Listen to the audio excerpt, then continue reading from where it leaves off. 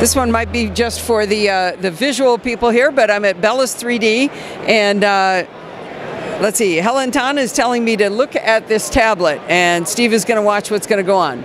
So we're going to scan my face. You're gonna scan your face. Okay. And you're gonna turn your face slowly to the left and slowly to the right.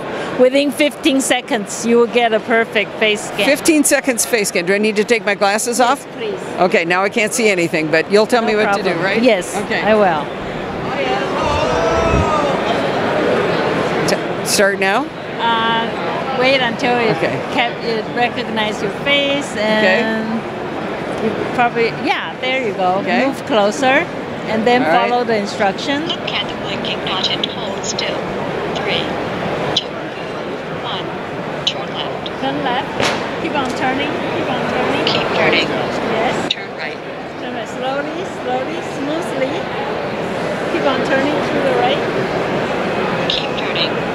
Turn to the middle. Turn to the middle. Capture completed. All right, says capture complete. Uh, enter your name. Oh, we're now I got to put my glasses on. Here you go. We'll put my name in here. Do I get I get a copy of this Yes, 3D you scan? Oh, that's going to be fun.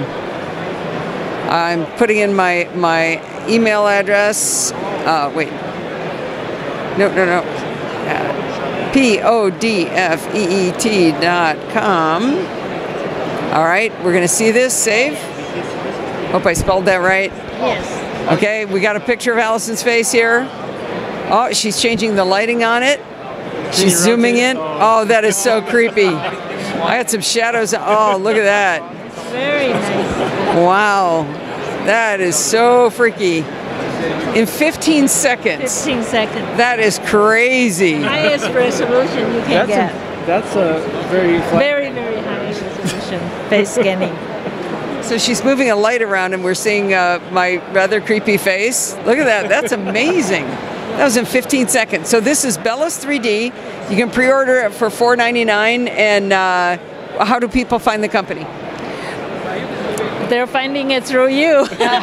No, but I mean online. I would go to bellus3d.com. All right, very good. Thank you very much, Helen.